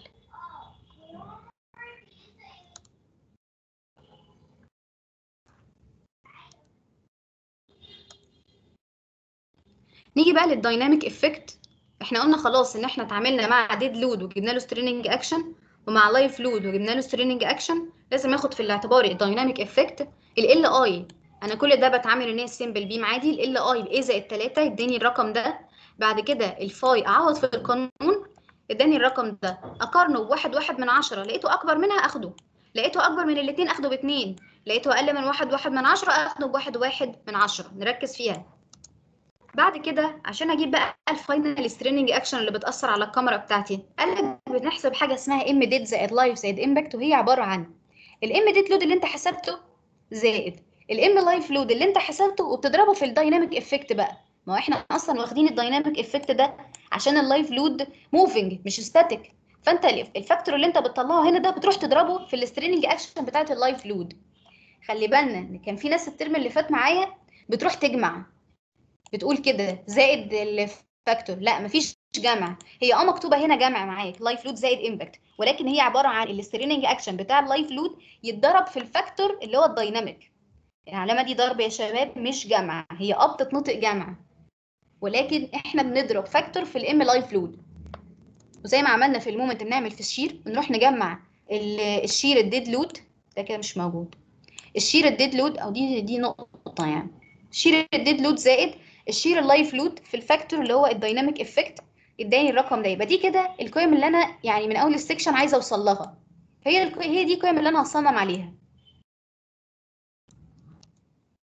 كده أروح ادخل في خطوة التصميم. طبعا أنا كل ده بحل إنها simple في مثال كمان هوضح عليها لو هي continuous اعمل إيه بس أنا كل ده بحل إن الكمرة بتاعتي simple beam أول حاجة زي ما قلت لكم إن أنا عندي أربع أنواع من الانهيار. عرفنا إن في اتنين مش هنستخدمهم اللي هم ال local buckling وال lateral torsional buckling هم مسيفين معايا. الاثنين اللي أنا هتعامل معاهم بقى إن أنا أعمل check على ال bending stress يعني هل هي هتقدر تشيل ال maximum stress اللي جاي عليها نتيجة ال maximum straining action تاني حاجة check اللي هو ال fatigue هل هي هتقدر تستحمل عدد ال cycles من التحميل؟ ده اللي هنشوفه بقى. بالنسبة لل allowable bending stress فاحنا القطاعات بتاعتنا hot rolled section فبناخدها 64 من 100 F yield ده كده ال allowable بتاعك. 64 من 100 F yield ال- ده المفروض إنه مش حفظ بس بس القانون ده يعني ما فيش أصلا حد ما يعرفوش. المفروض إن إحنا كلنا نبقى حافظينه. بعد كده تروح تعوض ال F yield هو قال لك إنها steel 44 يبقى ال F yield ب 2 و8 ادي لك الرقم ده اديها رقم واحد وسيبها. تعمل check على ال fatigue إيه بالنسبة لل fatigue فإحنا عايزين نبقى نفهم حاجة. إيه هي أصلا ال factors اللي بتأثر على ال fatigue عندي؟ قال لك إن ال fatigue أو مقاومة الكمرة لل fatigue بيتأثر زي ما قلت كده بعدد ال cycles من التحميل بال N فلو دخلنا الكود ال- ال- أنا هبعت لكم كود يعني. هتلاقوا ان في الكود ده صفحة 40 صفحة 40 هتلاقي فيه table كده. ال table ده بي- بيقول بيقول لك هل الكمرة بتاعتك دي هتشيل كام N من التحميل يعني؟ كام N هتتعرض لها؟ فإحنا هنلاقي إن إحنا دايما في class 3 اللي هو transversal floor beams تلاقي إن أنت في الجزء بتاع ال floor beams ده بيتعرض ل over 2 مليون. يبقى أنت هنا بتتعرض دايما للجزء ده. لأن انت عندك ال stringer شايله track واحد مفيش stringer بتشيل track ين. فانت ال floor beams بتاعتك دلوقتي ال stringer اللي انت تتعامل معاه شايله track. يبقى انت 1 track loaded و over 2 مليون. هي دي عدد ال cycles من التحميل. طبعا الأرقام دي هم بقى جابوها منين؟ ده بقى من اختبارات بيعملوها.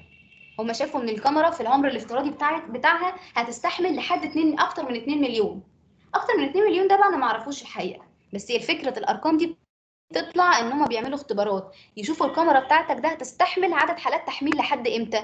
لحد ما يحصل لها انهيار. ما هي بعد كده بيحصل لها انهيار. هم بقى بيشوفوا هتستحمل لحد إمتى. ده أول factor معايا. تاني فاكتور ال detail بتاع ال structure بتاع detail category هتلاقي هنا إن في جدول تاني. آه، عندك class A و class B. فإحنا هنا في ال simple هتلاقي إن أنت في class A. اللي هو hot rolled عادي خالص. هي دي class A. إن أنت هتتعامل مع قطاع hot rolled ومفيش أي connection وقطاع surface عادي مفيهوش أي حاجة. clean surface يعني مفيش أي connection ومفيش أي حاجة. ده كده class A. بعد كده ال allowable stress بقى اللي أنت بتاعك ما هو ده اللي أنا بدور عليه. هي هتشيل لحد إيه؟ فال allowable stress ده أنا عشان أدخل الجدول بتاعه بدخل بحاجتين. بدخل أنا class A ولا B وبدخل بال N فإحنا هنا أنا عرفت إن أنا ال category بتاعتي إيه وعرفت إن ال N over 2 مليون يبقى ال Fs range ال stress اللي هتقدر تشيله ال Fs range ده يا شباب اللي هو الفرق ما بين maximum stress و minimum stress هو ده ال stress range هتلاقي إن أنت الكمرة بتاعتك ال simple بتشيل 1.68 من 100 طن على السنتيمتر تربيع. طيب هل أنا هدخل أصلا الكود؟ لا أنت مش هتدخل الكود. أنت تحفظ الرقم ده معايا. كمرة simple beam أو قطاع positive دايما القطاعات اللي عليها positive moment انت ال simple beam بت بت بتتعامل مع قطاع positive moment دايما الكمرة ال simple هتلاقي أنت عندك القطاع بيتعرض ل positive moment ال Fs range بتاعك ده رقم أنت هتحفظه 1.68 من 100 أنا بس حطيت لكم الجداول دي عشان أقول لكم هي جاية منين الرقم مش أكتر. بس أنا مش عايزاكم تدخلوا أصلا الكود. أنا عايزاكم تحفظوا الرقم. يبقى الرقم ده محفوظ يا شباب. قطاع simple beam قطاع بيتعرض ل positive moment هتلاقي إن أنت عندك ال Fs range 1.68 من 100 طن على السنتيمتر square.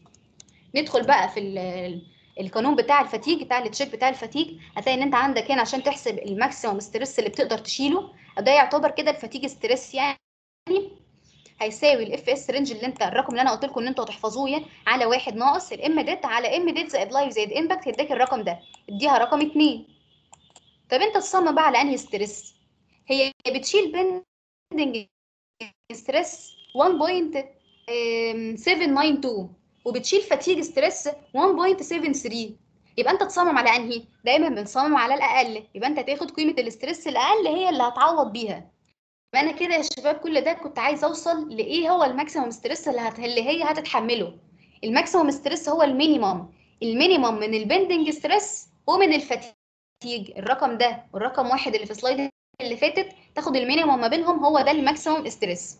بعد كده إحنا عارفين ان من اي stress في الدنيا يا شباب بيساوي moment على Z أو على S خلينا نكتبها هنا S أفضل. على S X أي stress في الدنيا بيساوي ده قانون أصلا ال stress ال- ال stress بيساوي moment على S X ال S X ده اللي هو ال modulus of elasticity اللي هو يعني من الآخر factor بيعبر عن ال inertia بتاعة القطاع أو factor بيعبر عن مقاومة القطاع. من الآخر كده. يبقى ال S X ده factor أو مش factor هي المفروض الرقم ده إحنا بنعرف نحسبه بس طبعا إحنا بنطلعه من الجداول يعني. الرقم ده بيعبر عن مقاومة ال inertia بتاعة القطاع يعني ال dimensions نفسها هتشيل قد إيه. تمام كده؟ فبتروح تطلع ال Z خلي بالنا إن ده كده modulus of elasticity ده S ال Z دي المفروض كنا بنقول عليها في ال modulus of plasticity في البلاستيك لكن إحنا هنا كود ال allowable stress design بيتعامل مع ال modulus of elasticity. لازم نبقى واخدين بالنا. فال S بتساوي ال M dead زائد live زائد impact على ال stress بقى. فطلع الرقم ده. تاخد الرقم ده تدخل الجداول في جداول ال IPE ال hot rolled ال IPE هتلاقي إن أنت عندك ال IPE 400 قريبة من الرقم ده. طبعا بتختار S أكبر منها مش أقل طبعا. تاخد الرقم ده يبقى هو ده القطاع اللي انت هتتعامل معاه IPE 400 يبقى أنا وصلت إزاي للقطاع يا شباب وصلت إن أنا كان معايا straining action إيه نتيجة ال dead ونتيجة ال live ونتيجة ال impact حسبت final straining action إن أنا جمعتهم مع بعض وطبعا بضرب factor ال dynamic في ال live load دي خلاص. طب بعد ما وصلت لل final straining action رحت أشوف ال maximum stress كنت عايز أعمل الخطوة دي ال maximum stress طب جبته إزاي؟ جبته ان أنا شفت هتستحمل لحد قد إيه في ال bending؟ اللي هو 64 من 100 F yield وجبته إن أنا رحت أشوف هي هتستحمل قد إيه في ال fatigue اللي هو طلع الرقم ده من القانون ده يعني. والرقم ده محفوظ. stress range محفوظ. بعد كده خدت الاقل منهم إيه هو ده ال maximum stress.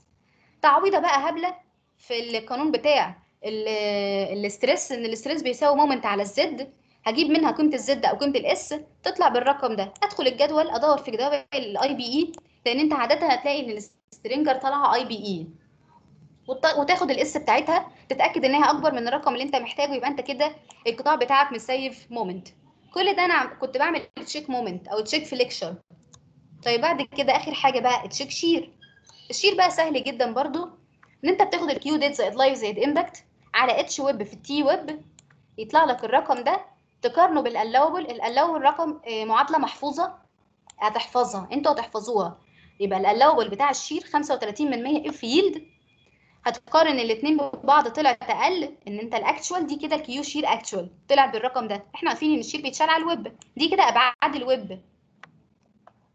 قارنته بال allowable 35 من 100 F yield فلقيته safe يبقى أنا كده خلاص هستخدم ال IPE 400 وأنت عادة ال shear بيطلع مش safe طب طلع unsafe خلاص زود القطاع. بحيث إن أنت تزود ال depth يعني. اللي أنت محتاجه إن أنت تزود depth في ال shear بقى مع الويب. فأنت هنا دي أبعاد ال web ال h web في ال t web ده كده تصميم ال stringer بتاعتي لو كانت simple beam حد عنده مشكلة يا شباب فيها؟ اتفضل. في ال في ال check shear آه، الدكتور أحمد الحديدي كان آه، في المقام ضرب في 85% بالظبط كده. إن هو في ساعات يعني إن هو إيه أنا عندي الويب بيبقى كده. بيبقى في هنا curvature فيقول لك إن إن الويب هيبقى فيه تركيز فعلا للإجهاد من بعد ال curvature المفروض إن المسافة دي تقريبا بتبقى 85 من 100 اتش ويب تقريبا يعني. بس إحنا يعني ساعات بيمشوها عادي إن أنت تضرب في الارتفاع الويب كله. لأن أنت لو جيت تحسب ترسم ال shear stress أصلا هتلاقيه تقريبا كده. دي كده رسمة ال shear stress إن هو مش متشال على ال flange يعني. وده فعلا الفلانجة ما بتشيلش shear. يعني بتشيل قيمة صغيرة. معظم ال shear بيبقى متركز في الويب بس المفروض إن إحنا فعلا ناخده من بعد ال- curvature فإحنا هنا ممكن نضرب في 85% بس اللي هيعملها h web في ال t web عادي. يعني في دكاترة بتمشيها كده عادي. بس عشان إحنا لو جيت ترسم ال shear stress بتاعك فلانجه ما بتشيلش shear قيمة صغيرة جدا. بعد كده قيمة ال stress بتبدأ تزيد من بعد ال curvature هو ده المفروض إن أنت تبقى مركز فيه قيمة ال shear كلها.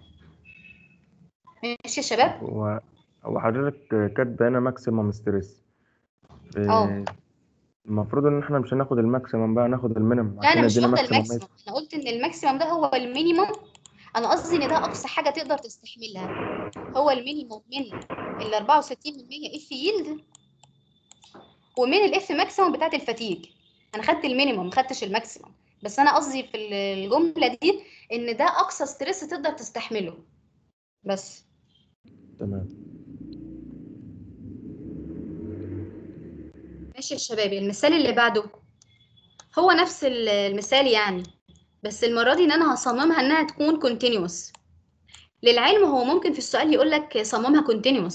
ممكن يقول لك صممها simple يبقى أنت ملزم في الحالة دي. طب أنت في المشروع طب براحتك صممها simple صممها continuous براحتك. ممكن تصمم الاثنين وتقارن وتشوف مين اللي هطلع لك قطاع economy أكتر. دي فكرة. مع إن ما ما حدش يعمل كده عشان ال continuous ما بيطلعش قطاع economy أكتر ولا حاجة. ده تبقى قطاعات قليلة آه بس قريبة شوية من القطاع ال simple يعني. المهم إن إحنا ناخد بالنا في السؤال سابها لي مفتوحة؟ أحل براحتي. طب قال لي أصممها إزاي؟ لا يبقى لازم أصمم زي ما بيقول. هنمشي عادي مع خطوات المسألة بتاعتنا. هي نفس المسألة اللي فاتت span 27 متر 9 equal panel.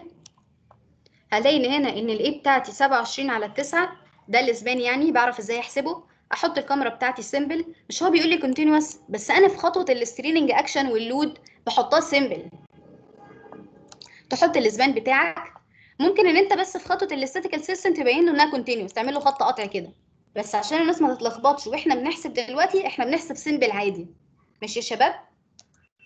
بعد كده ال straining action due to dead load ال w dead load من 420 ل 475 فأنا باخدها رقم في النص 450 هتعوض. شايفين أنا بعوض إنها simple w L تربيع على 8 عادي خالص وتعوض في ال shear ال dead load w L على 2 يبقى يا شباب أنا في ال straining action بعوض إن هي كمرة simple هو أنا عايزه أصمم إن هي continuous بس أنا straining action بعوض إنها simple عادي.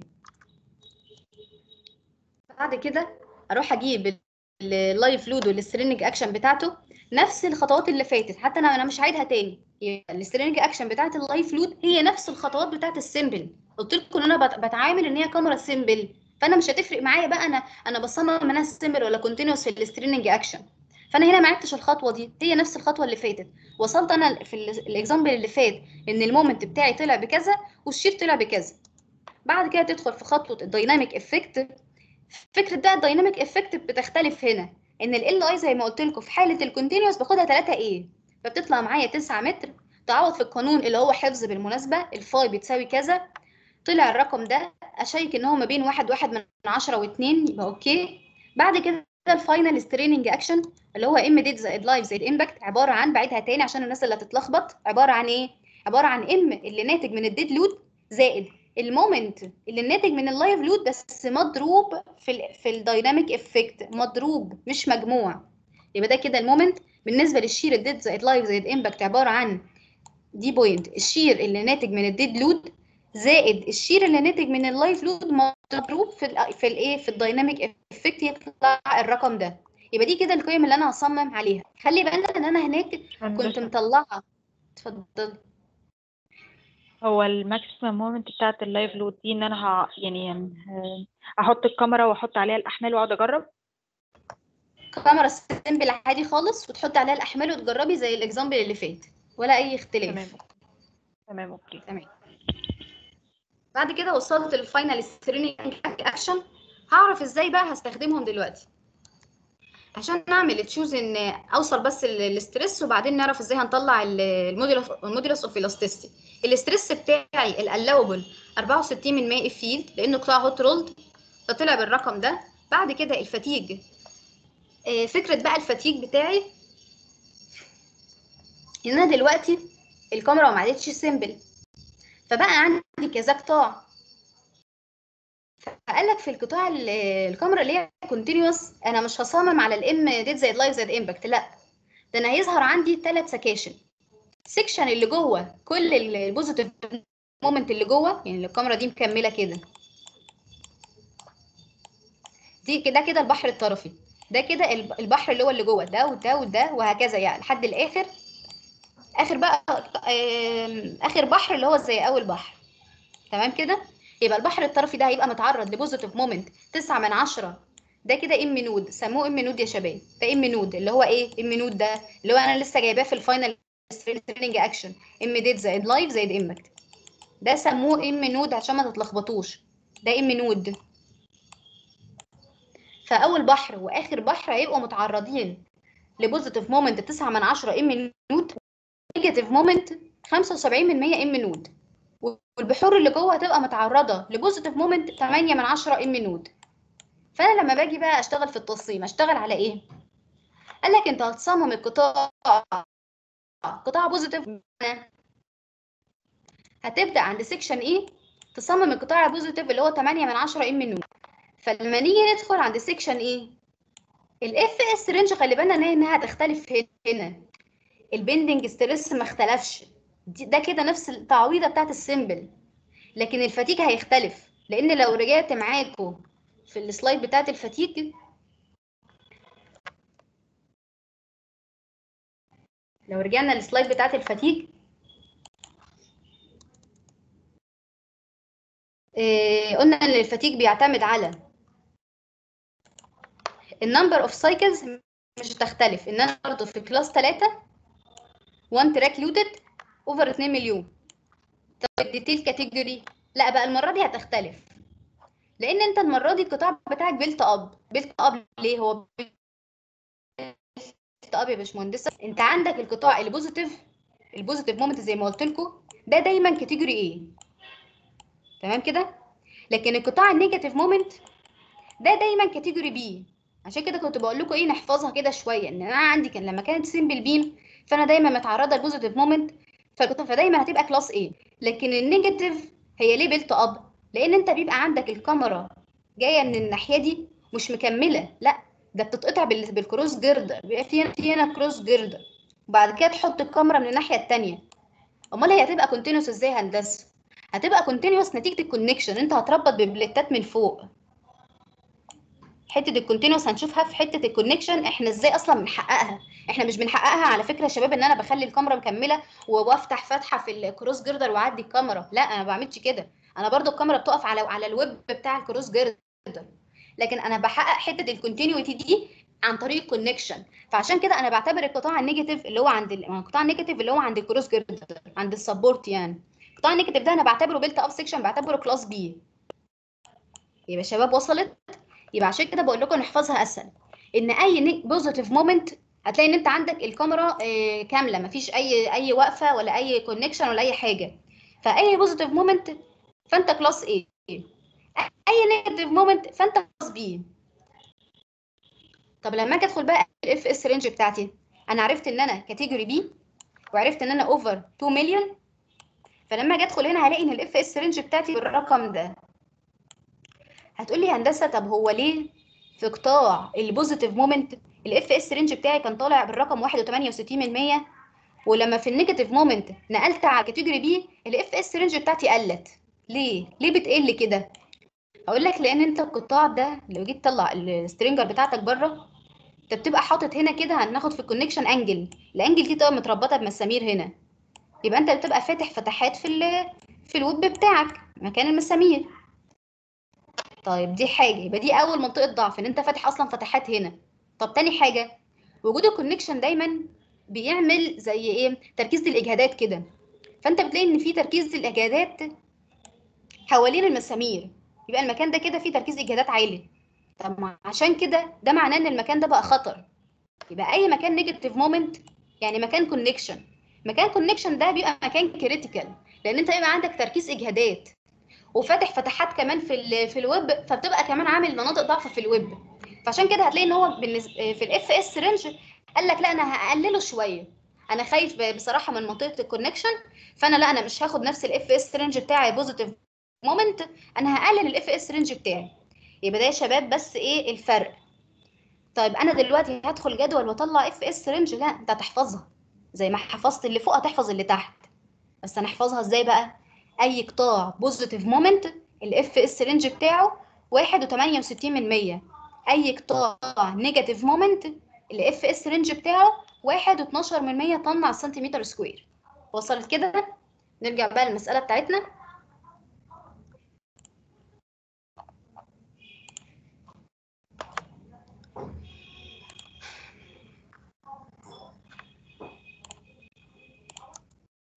يبقى أنا خطوة ال bending stress ثابتة سواء simple ولا continuous خطوة ال fatigue بقى هي اللي هتختلف عشان ظهر عندي ثلاثة section بس أنا بصمم اتنين وبشيك على التالت. بصمم ال section ال positive اللي هو section A اللي هو بيتصمم على شايل يعني 8 من 10 M nought زي ما قلت لكم دي كده M nought.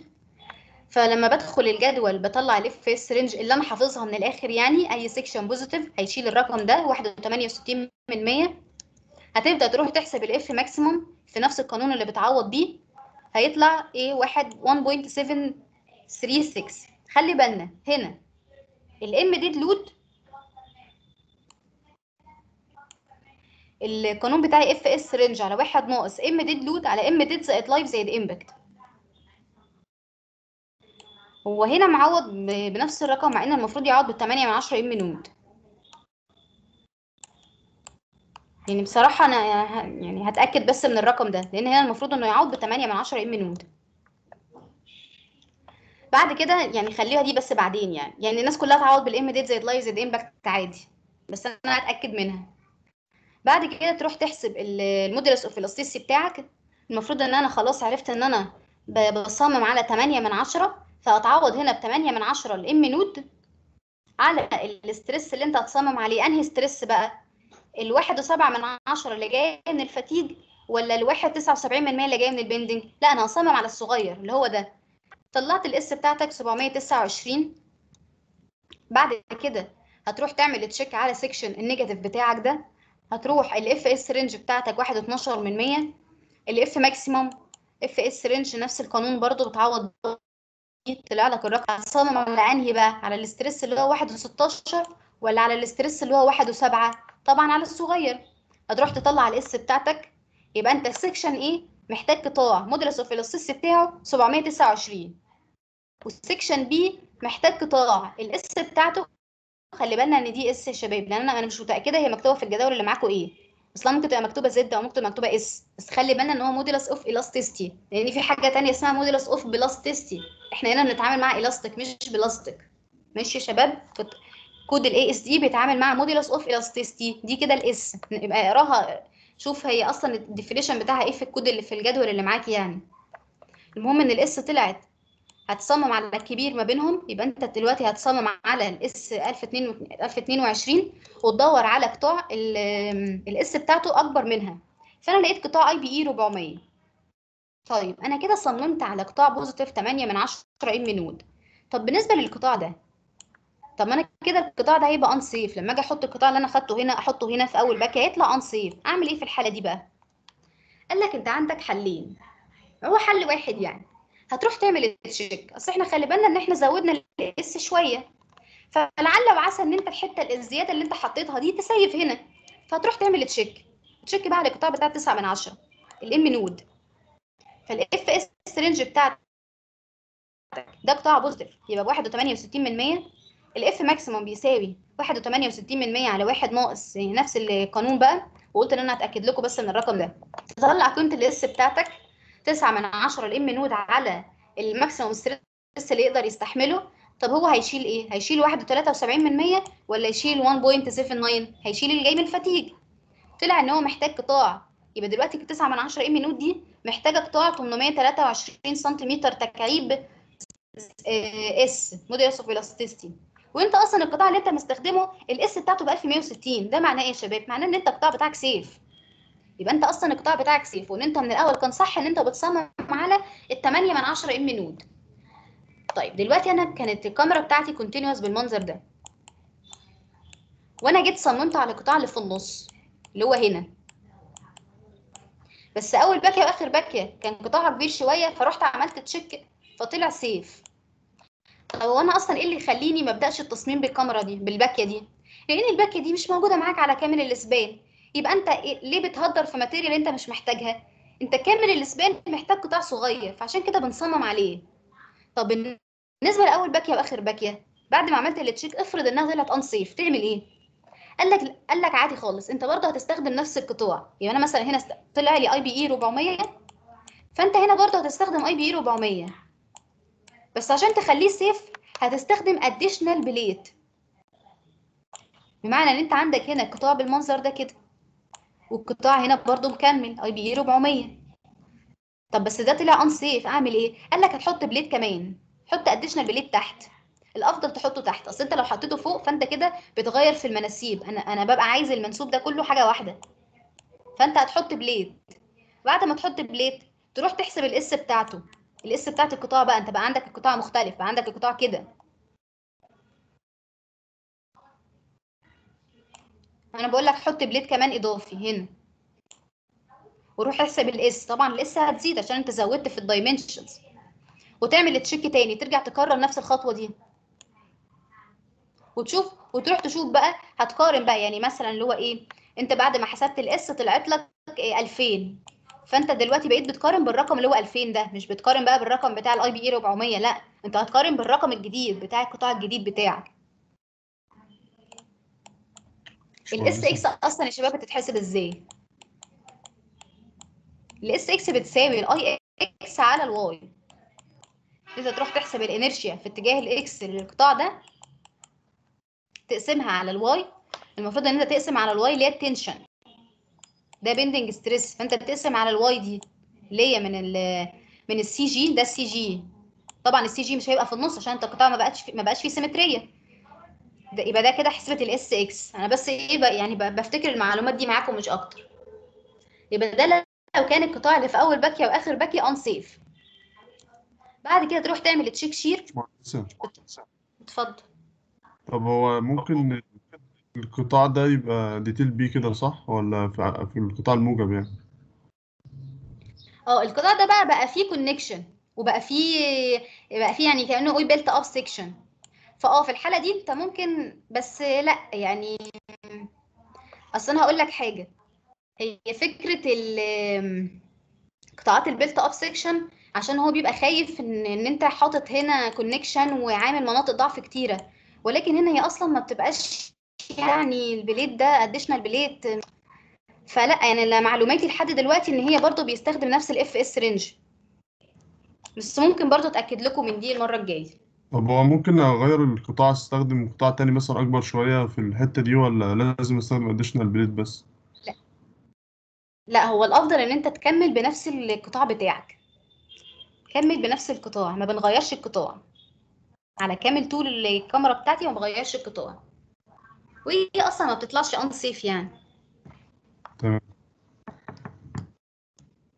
الخطوه اللي هي اللي check shear إن ال Q shear بتاعي بيساوي Q D زائد live زائد impact على. الناس برضه هتضرب هنا خلينا زي الدكتور 85 من 100 اتش ويب في ال T web. نفس ال shear اللي انت مطلعه من حالة ال simple عادي. يعني هنا لأنها أصلا هي كده more safe أصلا ال shear بتاع ال simple أكبر من بتاع ال continuous هي دايما مسيفة.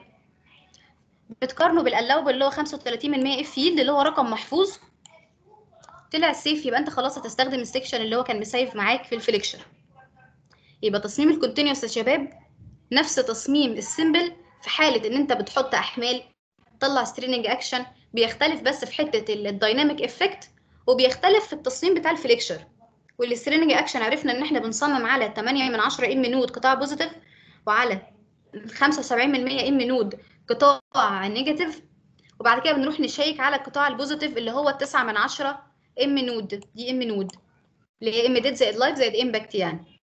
بعد كده تعمل check shear عادي خالص بنفس قيمة ال shear بتاعه ال simple أصلا لانها تبقى more safe يعني. بس ده كده تصميم ال continuous اتفضل. أنا ال check ده كنت سألت فيه الدكتور كان قال مش لازم نعمله لأنها نفس الخطوات. هو انت أصلا انت مش مش بقول لك صمم simple و continuous انت يا تصمم يا دي يا دي. فانت مثلا لو المسألة انت ما عملتش خالص خطوة ال check shear قبل كده وعايز تصمم آه، عايز تحل انها continuous لازم تعمل check shear طبعا. ده على. اعتبار ان انت ما عملتوش أصلا. باشمهندسة أنا قصدي على ال check بتاع تسعة من عشرة moment تسعة من عشرة M nought دي. أنا كنت سألته عليها قال مش لازم تعملوه هو على اعتبار إنها بتطلع مسيفة ممكن فعشان كده الدكتور قال لكم كده. بس لا الأفضل تعملها يعني. وفي ال check shear يا باشمهندسة هو مش المفروض ال shear عندي يبقى هنا ب- بستة من عشرة ال Q nought آه المفروض. أنا بقول لكم هي بس هنا more safe مش أكتر. ال shear بتاع ال simple أكبر بكتير من ال shear بتاع ال continuous فأنت يعني ممكن تضرب هنا في هنثبت- 6 من 10 بس أنت لأ خدها ال simple. خدها ال simple. تمام. ماشي يا شباب. آه، حد عنده مشكلة لحد دلوقتي؟ غير بس إن ال FS range دي أنا هتأكد منها في حالة لو استخدمنا additional plate يعني هقرا فيها أكتر بس إن أنا اتأكد منها إن إحنا هنستخدم بتاعة ال positive moment ولا بتاعة ال built up section لو استخدمنا additional plate إيه حد عنده مشكلة يا شباب؟ في في المشروع يا جاي مديني في الرتبة بتاعة الحديد عايز أعرف بس هو معناها إيه؟ يعني يعني هو يعني مديك مد- إيه steel إيه؟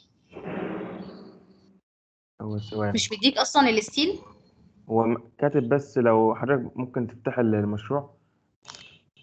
مش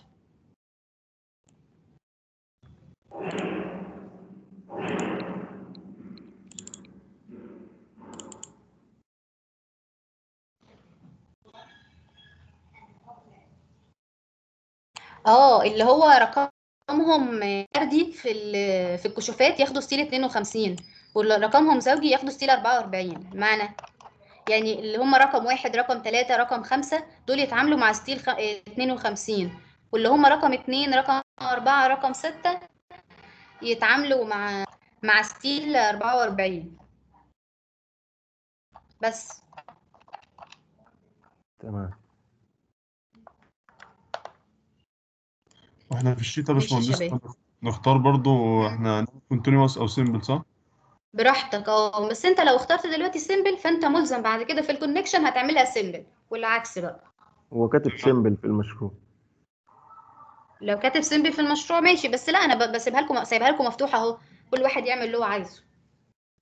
بس في الامتحان لو قال لك simple يبقى أنت لازم simple في الامتحان لو قال لك continuous يبقى أنت لازم continuous سابها لك مفتوحة أنت حر. تمام يا باشمهندس ماشي يا شباب. إن شاء الله الأسبوع الجاي في ميعادنا عادي.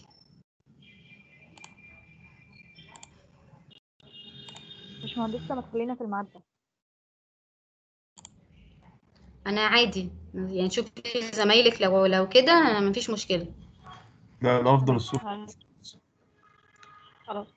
لا الصبح. أفضل. دلوقتي إحنا نايمين خالص. ما ينفعش. ماشي. ميعادنا إن شاء الله الأسبوع الجاي.